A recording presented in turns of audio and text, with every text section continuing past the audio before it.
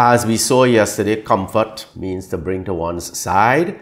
Comfort also means to exhort, motivate, encourage, energize.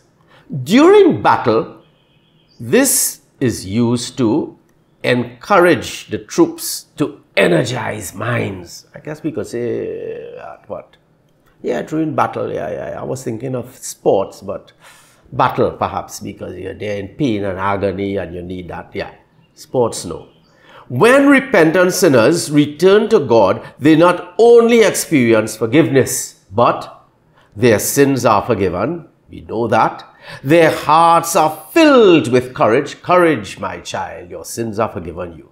Their minds are stimulated with new thoughts, new understanding, and fresh adventure. Their flickering flame of life is revived.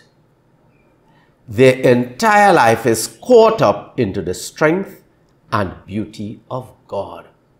See the different stages, see what takes place when we ask for forgiveness and when we feel that forgiveness which comes from above. So, when repentant sinners return to God, they, it's not just a, a, a dry, okay, I forgive you, go ahead. No, their sins are forgiven. All their sins are forgiven, so they are clean.